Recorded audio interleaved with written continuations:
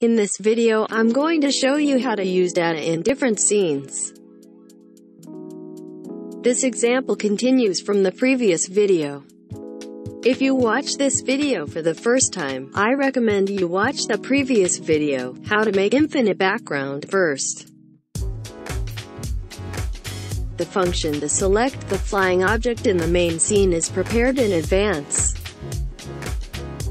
There are two manager game objects in the main scene. In the manager UFO script there's an array variable to store prefab game objects.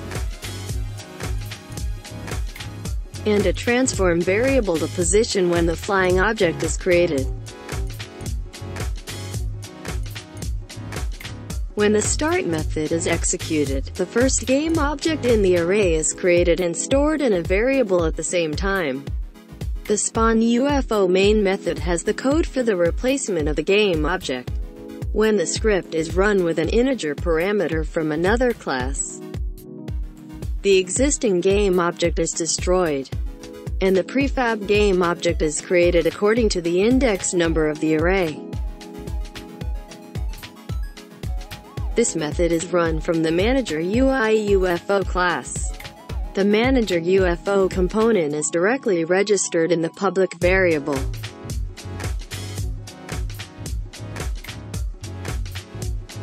There are two integer variables for button processing.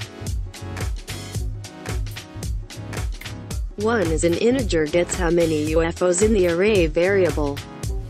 The num current UFO ID variable is used for sequential selection of limited number of flying objects. Since the button has only left and right selection buttons, I use the bool variable as a parameter to use in one method.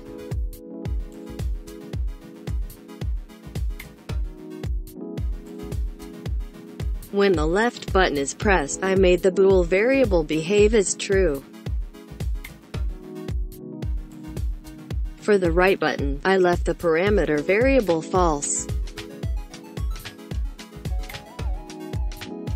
When the left selection button is pressed, the variable is added by minus 1, and when the right selection button is pressed, the variable is added by 1 each. Then it runs the method that creates the UFO, or flying object.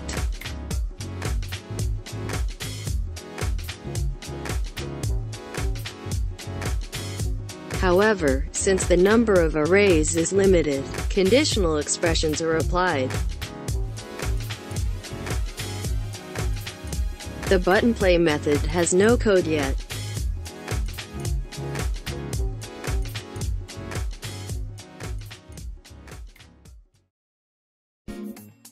Let's take a look at the concept.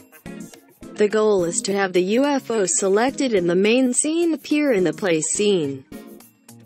But the question is, how to send and receive data in different scenes. The point is, the game object which contains the class must exist in other scenes as well. We're going to use Unity's don't destroy on load to solve this problem. I will create an empty game object in the main scene and name it manager data UFO.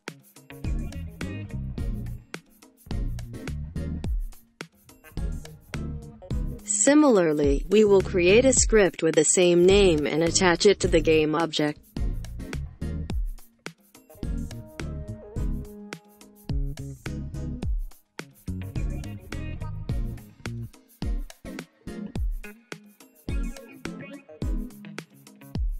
Let's create an awake method and write a don't destroy on load code. The game object used as a variable refers to the game object to which this class is attached. This way, this game object will remain in place no matter what scene you go through. Awake is executed before the start method. I will explain why I used the awake method later. Let's create an integer variable that stores the array index number of the selected UFO.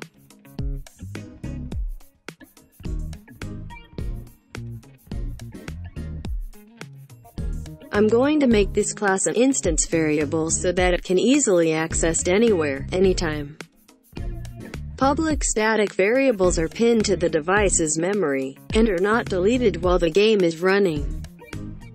Therefore, you can freely access it without using the get component function, but it takes up space in memory, so you should use it carefully, and avoid using too much. Let's go to the Manager UI UFO script and write a code that sends data when the UFO is selected.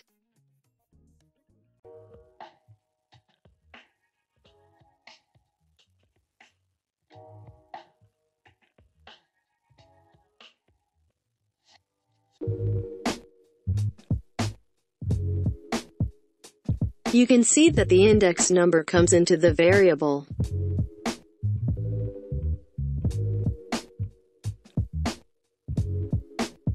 Now we need to load the UFO with this variable in the play scene. Create an empty game object in the play scene and name it manager init play.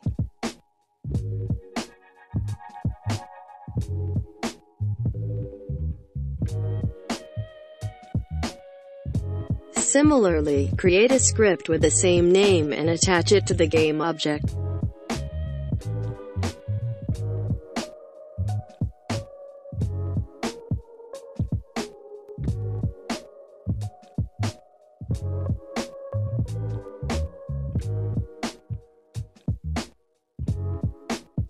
Create an array variable to load UFO prefab game objects.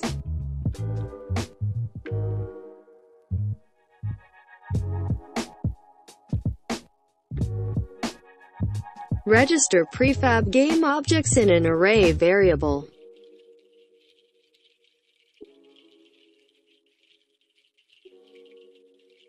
Create a transform variable so that the created UFO goes into the player's child.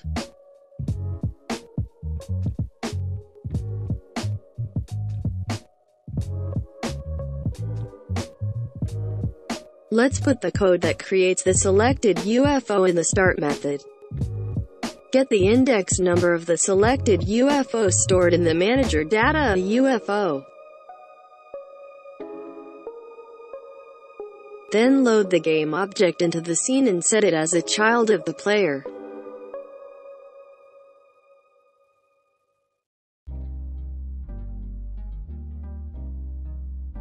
I made a temporary exit button on the top left of the placing screen. This button is linked to a method in the Manager UI Play. I will put a function in the Manager Data UFO script so that we can freely load the main and play scenes. To load a scene, you need to put in the Scene Management directive. Let's create two methods. One loads the main scene, and the other loads the play scene.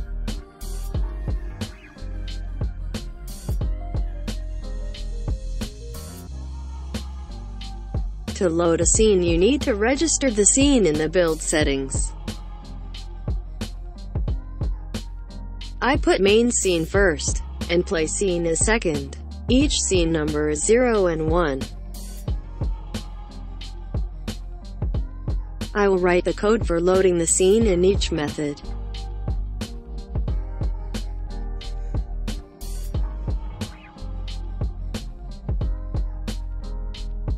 Then put the code to execute the method in Manager UI Play.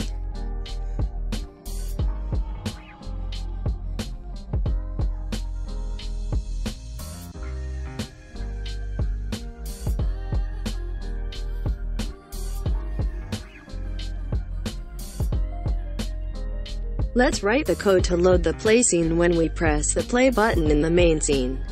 There is already a method attached to the play button.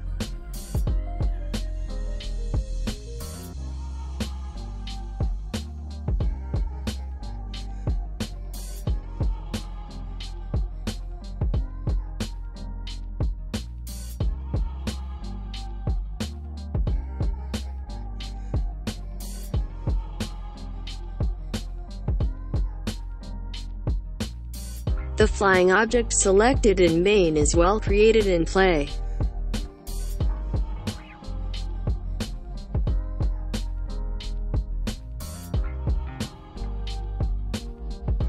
there's a problem. Each time you return to the main scene, the manager data UFO game object is created continuously.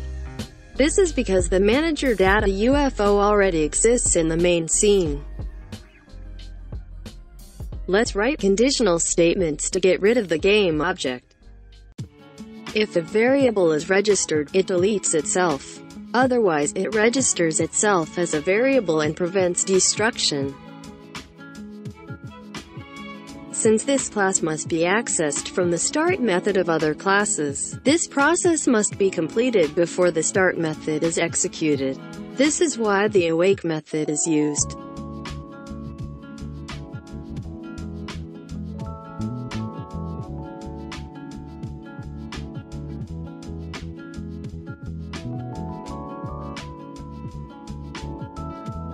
Game objects are no longer created when returning to the main scene. There is another problem when we return to the main scene. The selected flying object does not appear in the main scene, and something else comes out. Let's solve it simply.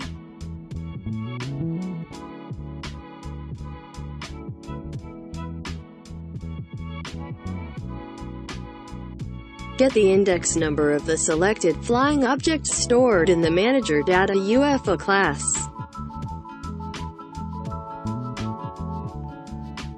Then clear the array index number, and replace it with a variable.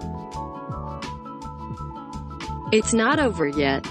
Since the function of selecting a flying object through an integer variable was used, it must be initialized in the manager UI UFO script. Otherwise the flying object will not be properly selected.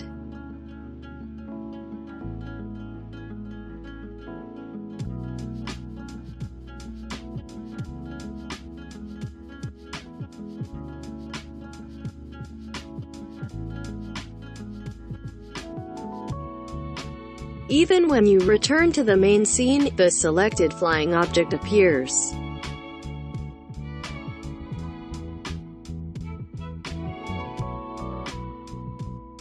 Next time, we'll look at how to save and load play data in the game. Thank you. See you next time.